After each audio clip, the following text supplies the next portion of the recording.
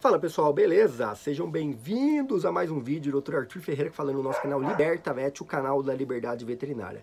E vocês pediram através dos comentários que eu desse dicas para quem quer fazer a faculdade veterinária ou para quem está na faculdade veterinária. Como você pode se destacar e como você pode se preparar para ser realmente um excelente profissional.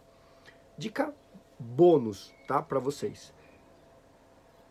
Ponto principal você precisa dar foco nas matérias que realmente vão ser fundamentais aonde você for trabalhar.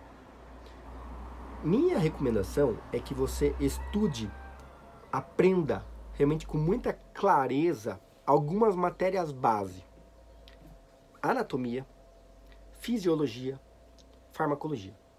Estas três matérias. Estude mesmo que por conta própria, mesmo que às vezes você está no primeiro ano, segundo ano, não chegou, na, não chegou no, no, ano ainda, no semestre ainda, que você vai ter essas matérias, cara, vá para a biblioteca, procure livros, procure resumos, vídeos e artigos na internet para você estudar sobre essas três matérias: anatomia, fisiologia, farmacologia. Aprenda como é o corpo dos animais, tá? Ossos, músculos, órgãos, e entenda para que eles servem, como eles funcionam no ambiente normal, tá? Como funciona o rim, para que ele serve, quais os problemas, o que vai acontecer se isso acontecer errado, se um desequilíbrio. Aprenda todas as funções dos órgãos, tá? E aprenda a farmacologia, ou seja, os medicamentos que resolvem os possíveis problemas para aquilo que, esse, que não é fisiológico. Porque dessa forma, com essas três matérias, você sabe exatamente qual o posicionamento de cada órgão, qual a função de cada órgão e como ele funciona corretamente. E quando, quando você se depara com uma situação onde você vê que existe algo que não está dentro do normal, não está dentro da fisiologia, você imediatamente vai aprender que existe alguma coisa errada. Se você tiver a noção da farmacologia, você sabe qual medicamento, de que forma de ação você precisa para resolver esse problema. Muitos veterinários cometem esse grande erro, que é ficar focado em procurar aprender sobre patologia, aprender sobre a, é, é, clínica cirúrgica, clínica médica, a, a, matérias mais práticas de pôr a mão na massa e coisa e tal, e se esquecem da base, que é anatomia, fisiologia, farmacologia. Com essas três matérias, você vai conseguir destrinchar, desdobrar em qualquer outra matéria no futuro. Porque quando você sabe o que é o normal, você sabe aonde é a posição normal, a formação normal, quando você enxerga algo que está fora do normal, você já, já pega na sacada.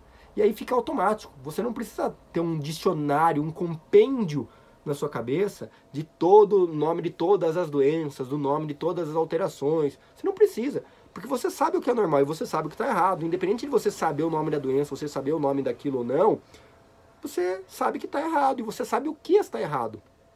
Não se prenda em ficar aprendendo o nome da doença, sabe? Eu vejo pessoas às vezes pensando no, no, fluxo cardíaco. Não, mas isso aqui é alteração sistêmica. Ah, não, mas é diastólica. Não, mas é. Cara, se você aprender a anatomia das câmaras, se aprender para onde, o, o sangue entra, onde o sangue sai, com que intensidade, quando você notar algo errado, opa, peraí, por isso que ele está com edema, por isso que ele está com aumento, por isso que ele está com diminuindo a pressão você fica tudo intuitivo. E aí você tendo uma noção de farmacologia, você consegue pensar em formas para você solucionar aquele problema, mesmo que seja às vezes a, a, uma incisão cirúrgica. Você tem essa noção. Foque nisso. Não fique apenas buscando pensar em doença, em cirurgia, em clínica médica.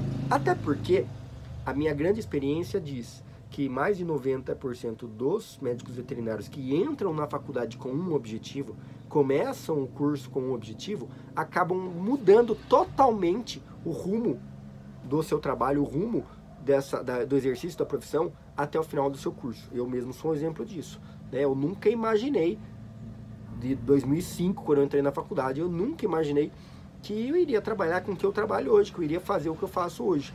Fiz cinco anos de faculdade focado em uma área que, quando eu me formei, não cheguei nem perto daquela área. E ao longo dos desdobramentos da, do exercício da minha profissão, foi me aprimorando e comecei a desviar completamente daquilo que eu tinha começado a trabalhar. Você percebe? Então, não se atenha em acertar na mosca. Se você aprender essas três matérias, garanto para você que você vai se dar bem em todas as outras que você quiser, que você for para se dar bem, no desdobramento do exercício da sua profissão. Beleza? Espero que esse vídeo tenha valido a pena para você. Dá essa joinha e compartilha com seus amigos médicos veterinários. Beleza? Conto muito com a sua ajuda e com o seu apoio. Sempre comenta aqui embaixo sua opinião e suas dúvidas. Um grande abraço. Tchau.